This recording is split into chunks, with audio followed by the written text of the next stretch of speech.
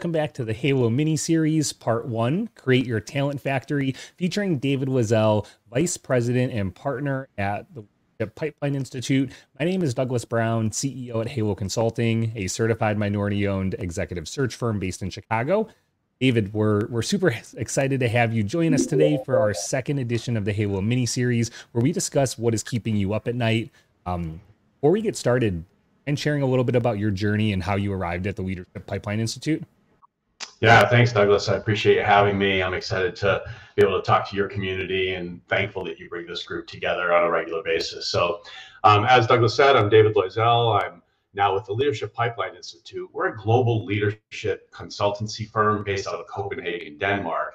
Um, prior to that, I was the chief people officer at Project 44, which is a Chicago based supply chain technology company and spent the past 25 years in operations, leaderships, and talent roles um, throughout the course of my career. I'll tell you though, two years ago, um, I started at Project 44, and, and the company had some pretty significant growth and milestones.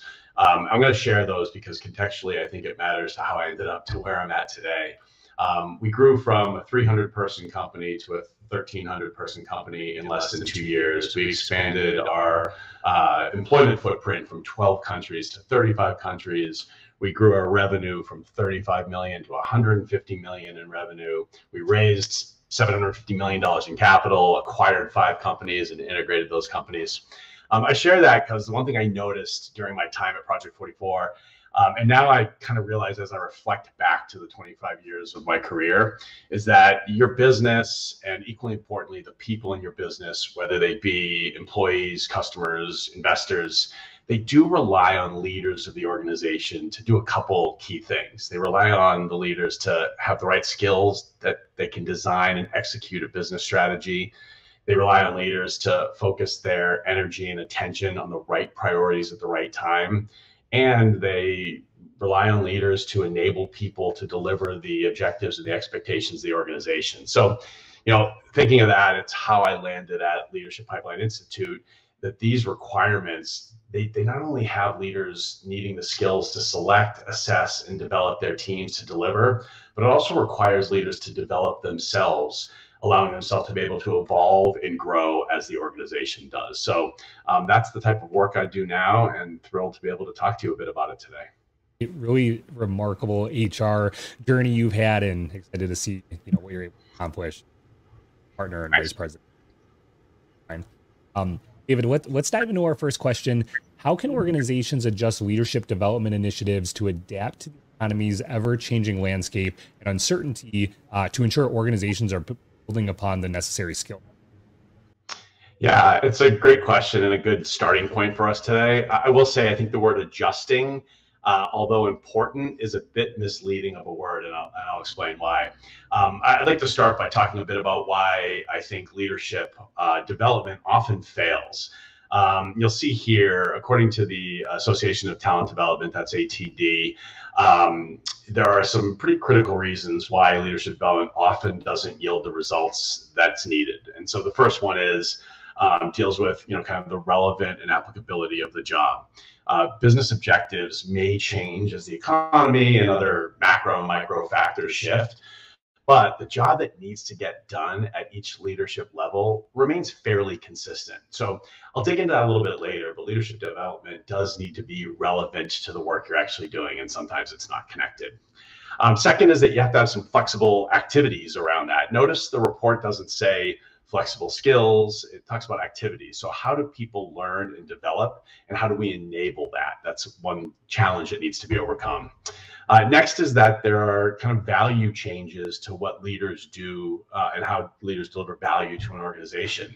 Um, this one's really critical because it's it's really actually super true that leaders provide you know different value especially at different levels and that's changed over time especially as we move towards innovative and knowledge work being so critical uh, to deliver results for businesses uh, next challenge is uh, that the impact needs to be measured. This is kind of the magic trick in leadership development. Without measuring the impact of development on your people and on your business, how do you know where to adjust, going back to that word, to and and focus on what needs change and improvement in your organization.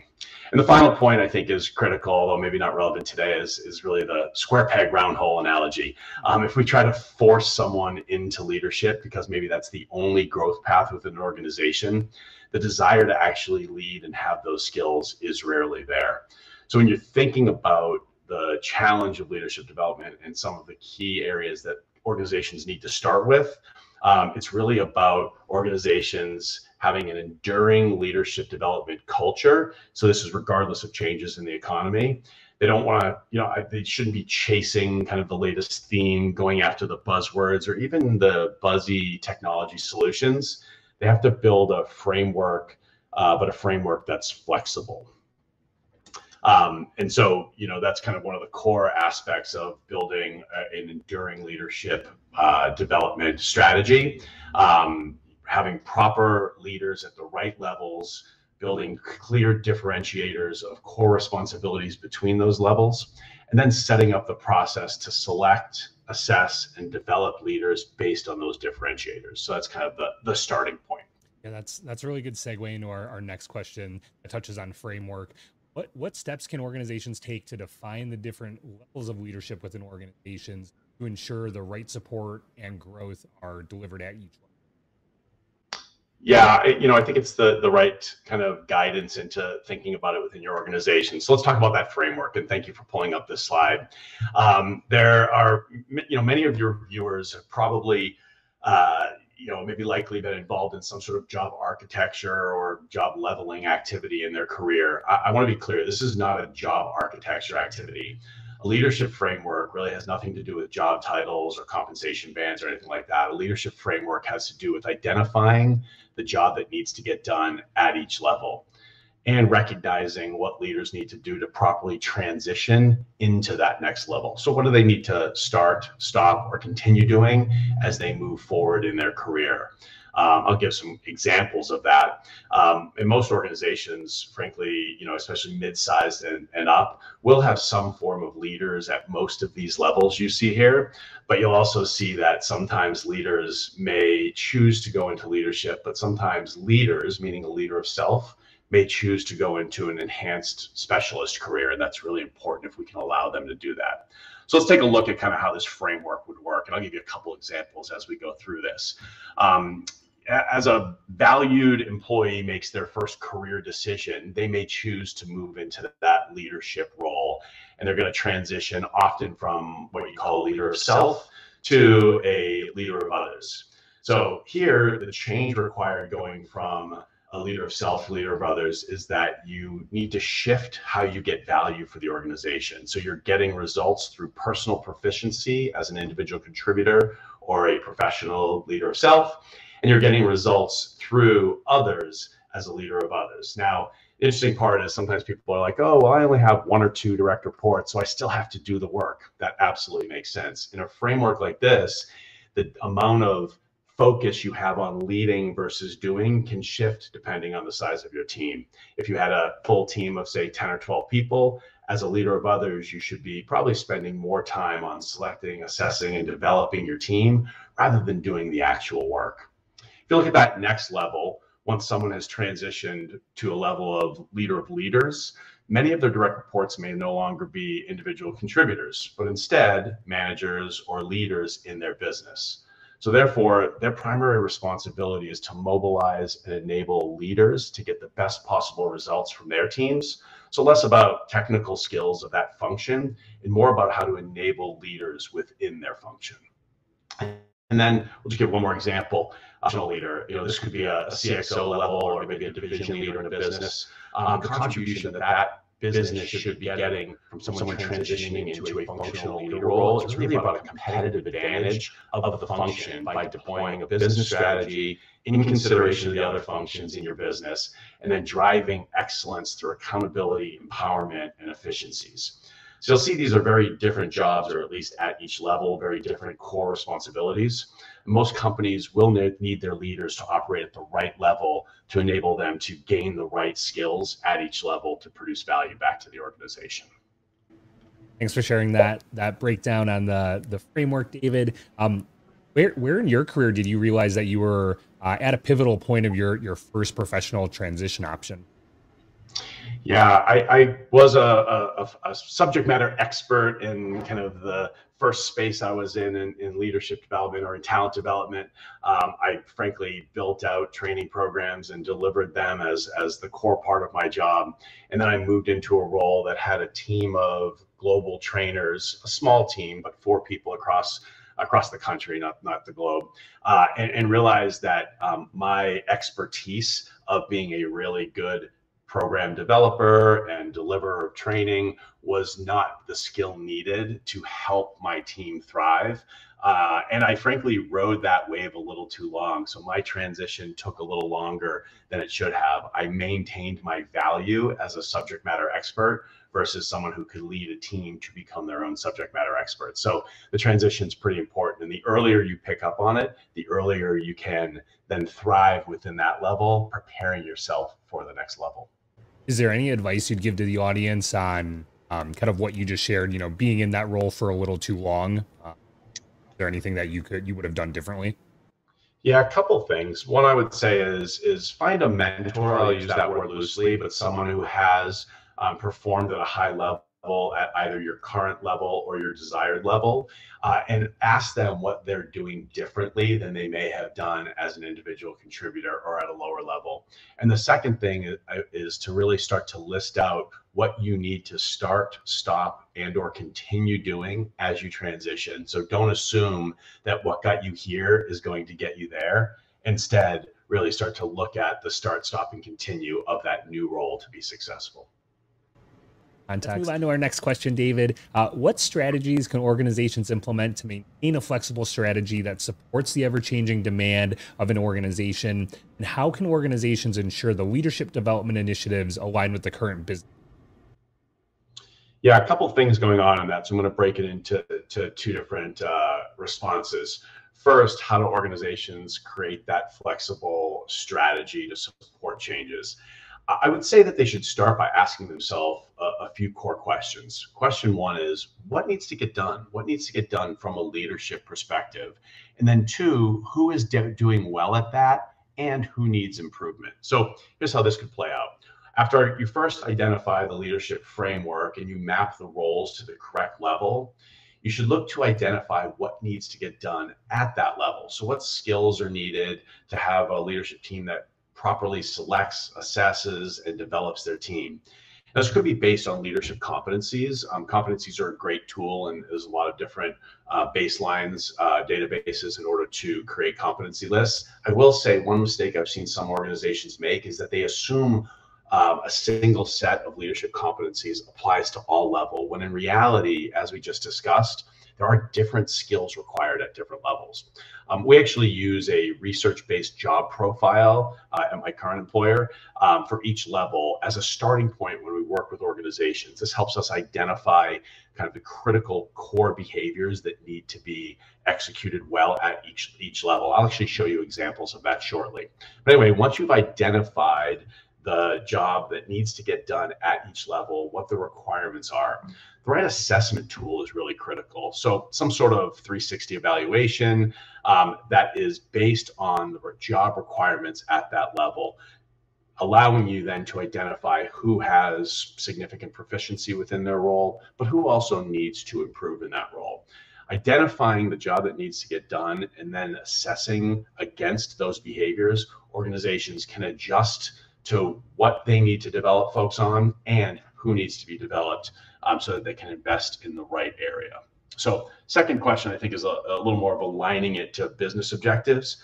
Um, this is really foundational to have you know properly identified leadership levels that clarifies the work that needs to get done business objectives should be driving the skills and the developmental objectives that are needed within an organization but if everyone thinks that their job is to develop the strategy, regardless of what level they're at, and no one realizes they're meant to develop, they're meant to develop the people to execute the strategy, there's going to be a disconnect in that alignment. So, you know, no one is enabled to implement the business strategy. Everyone is just kind of building it on the top. So, uh, just recognizing the difference between levels of leadership and what their core responsibilities are is a critical component.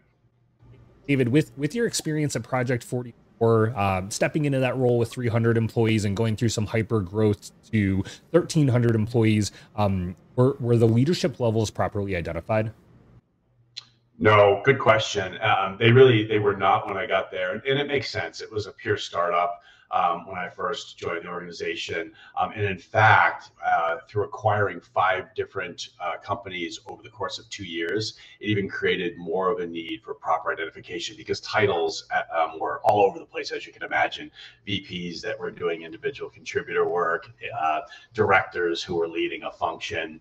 And so that was one of the first things we needed to do was clearly identify the work that people were doing at each level and get them um, mapped to the proper uh, level within a leadership framework so that we could enable their growth. We could enable clarity as to what their role was. Um, but that took uh, a bit of a process to make sure that everyone um, was properly mapped. Got it. That that context. Um, let, us move on to our next question. Um, you've touched on leadership skills a couple of times. Uh, what tools or resources can organizations leverage to help leaders acquire the skills and comp for success? And does technology play a role in the success? Yeah, I mean, as you can imagine, there are so many resources out there that are providing solutions for leadership development and building skills. Um, probably too many because it gets a little bit uh, confusing as to where to go for, for really great solutions. Um, some of them are shinier than others, some of them a little more well established than others. I would say that each organization first needs to identify what they're trying to solve for. As an example, um, are you in the need of creating a talent strategy and framework first because you have leaders that don't know where their responsibility starts and where their responsibility ends? You might want to find a solution to, to, to start there. You might be an organization that just needs to enable leaders to select and hire the best people because they've got some near term growth demands, uh, and that might be an important skill set. Or maybe your leaders need to engage and develop uh, more senior level business leaders first because there's some dysfunction happening across the organization at that level. So start by identifying what your need is. Um, the best success that I've seen in organizations getting value through leadership development is when they start with a strategy and then determine if they can build versus buy the solution. So some teams can build um, solutions in house to get um, really good skill development. Some need to buy solutions. Um, if you've identified the strategy and you know what skills uh, you need to develop through that mapping and assessing of each level. There are some easy ways to build skills through developmental journeys. So LinkedIn Learning is a good example. A lot of people have probably crossed that path. If you are building a learning journey for a leader of others and have identified five core skills, how to select the best team members, how to assess performance, how to develop skills, how to provide one-on-one feedback, how to coach in the moment, whatever those five skill sets are, um, you can source uh, uh, learning modules or nuggets through tools like LinkedIn Learning, and there are a whole bunch of others. Um, the one thing I will recognize is that, you know, as we talked about with that ATD report, if the learning is not immediately applicable to the job, um, it is less likely to stick. So one thing we do is our learning journeys are uh, embed 100% real life current challenges into a six month journey that includes an execution and development plan. So if we've identified these five skills, we bring people together with real business challenges they're having in selecting, assessing, developing, engaging their team, and they walk out of their development uh, session with an execution plan that they bring back to the workplace so they get to practice it. So I, I recommend folks do that. Um, and then once you've you know identified what those skills are, finding different tools are critically important. From a uh, technology perspective, um, I would say that today's learner is really interested in learning on demand. So providing people with whether it be um, a, a, mobile solution to be able to practice different um, scenarios uh, as they're as they're growing, or possibly a database of you know different courses for them to be able to to um, get the the training that they need is critically important. You know, some some companies will uh, lean in pretty heavily on uh, LMSs, a learning management system. I, I, will say learning management system is really critical if you have a lot of content already and you can build out those learning journeys. Um, if you don't have contact content or if you don't know what you need to develop skill sets on for your team. If you haven't started there, um, that LMS solution might be uh, underutilized uh, at that time. So, so start with the strategy, understand the skills, find some of the content, and then build it into a technology. Are, are the resources that a 100 person startup would use different than the tools that um, like a 12 or 1300 organization would use? Yeah, that's a, a, good question. There are thankfully wide ranges from directly off the shelf kind of per person, you know, click in and get someone set up into in in, in a solution, all the way to the large enterprise workday uh, level uh, solutions. There are a wide range. Um, you know, Hop, I would recommend utilizing like G2 Crowd or some of the other um, rating solutions in order to filter down. You know, I am a 200 person organization looking to do this. What are some of the better solutions um, versus always assuming you need an enterprise level uh, solution that is probably going to be much more difficult to implement and uh, not get the cost, uh, the ROI that for.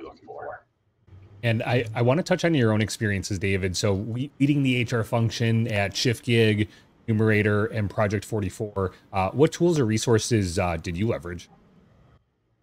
Um, yeah, a, a, quite a range of them. We, you know, when you're with a starty, uh, a scrappy startup, uh, you do need to be a little more cost uh, efficient, and cost effective.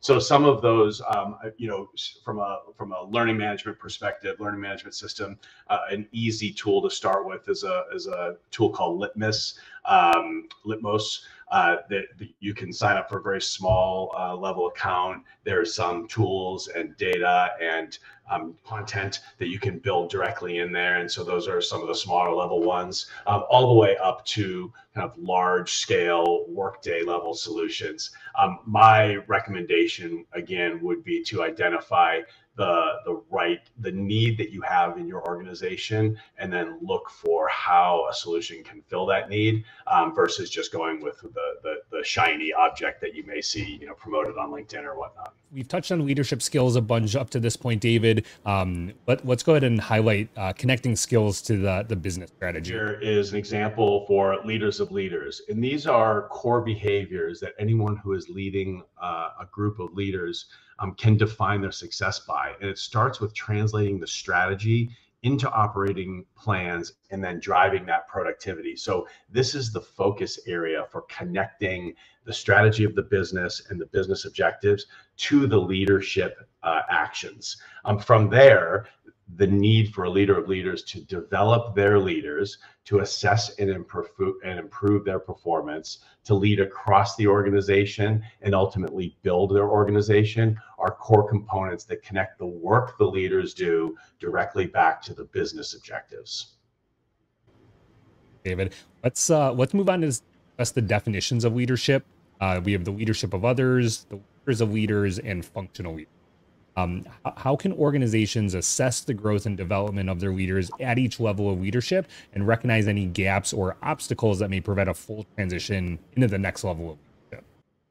Yeah, it's a, it's a really great topic. And I'll answer that by sharing some typical transition issues at each level. And I think this will resonate with a lot of the audience here. Um, it's a good place for our viewers to begin thinking about um, how they stack up personally and how maybe individuals uh, in their organization have begun to transition appropriately into their levels, uh, into their level. So First, as a, a, leader of others, some of the transition issues is that they may be micromanaging instead of delegating. This is someone who's moved from an individual contributor into that first time manager role or managing a team, and they're still really good at doing the task. So they're in there um, competing with their direct reports. They know how to do it best.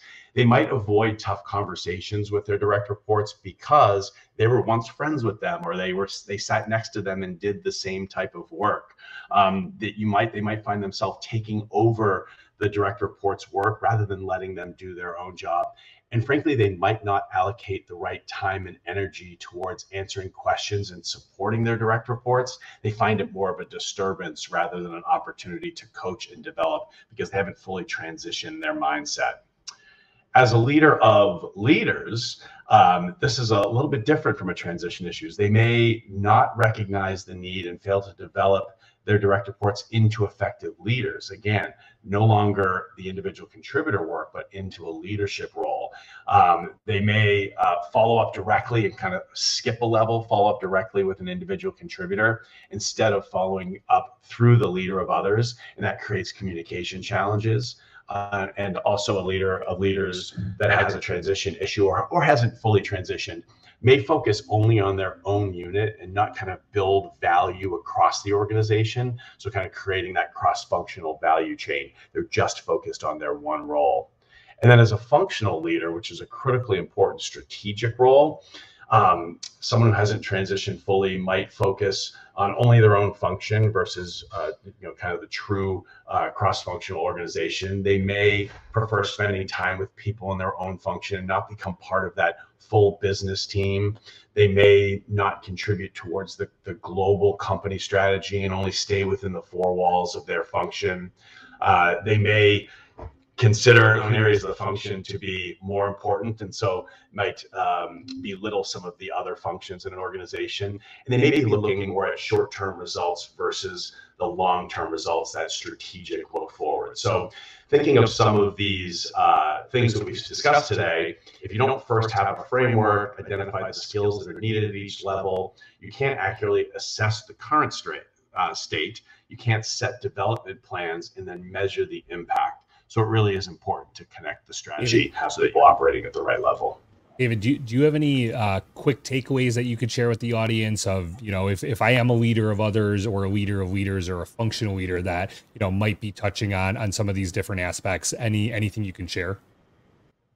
Yeah, I think I would. Yeah, I think I would the, go back to the modeling um, leaders, modeling that leaders that you really respect. Look at look at individuals who are in, uh, uh, the role, role that, either you are moving towards or that you are in newly, and see how they're operating really successfully. I often think of you know business leaders that I've respected and said, how is that person so good at what they do? But look, look at the work and how they plan, their, times, right? So, like, what, how, are they spending their time? Oh, they're spending their time developing their team versus doing work. And I'm finding myself actually doing more work right now. That, that might not be the right behavior. Or they're relying on others to set the strategy for their team because you know they're too removed from from what the uh, business goals and results need to be. So look at others that are successful at the level that you're aspiring to and start to model out some of those behaviors because it's a good way to identify where maybe you have um, gaps in your own performance. And i would also say be open to feedback. Ask individuals either on your team or peers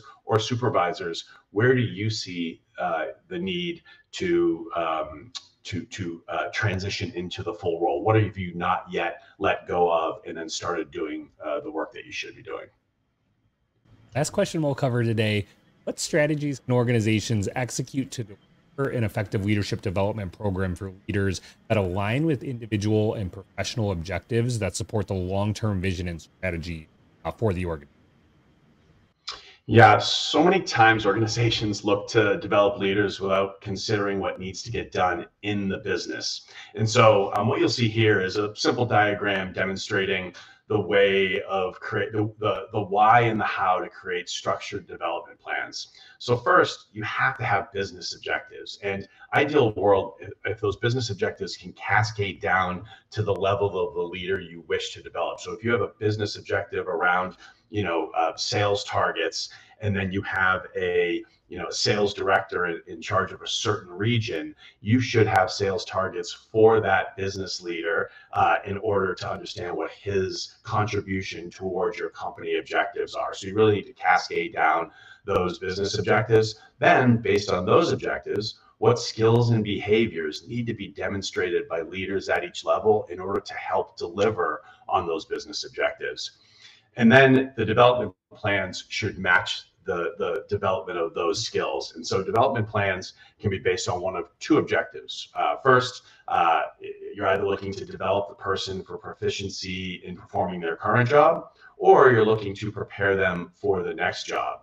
But the inputs on those development activities should align with what needs to get done in the business And frankly, it could be done primarily through job experiences or building relationships. You'll see here the 70 20 10 rule, uh, giving people an opportunity to, to contribute to new teams, to develop their skills, to work on stretch assignments that they maybe um, don't have in their everyday uh, responsibility list, to work with other individuals, whether it be different leaders or different teams, and um, better understanding how they're uh, succeeding. So building the relationships. It's not always about taking a course or learning a skill in a in a uh, some sort of training session. Um, the developmental work on the job and through relationships uh, and learning from others can be a critical way of doing that.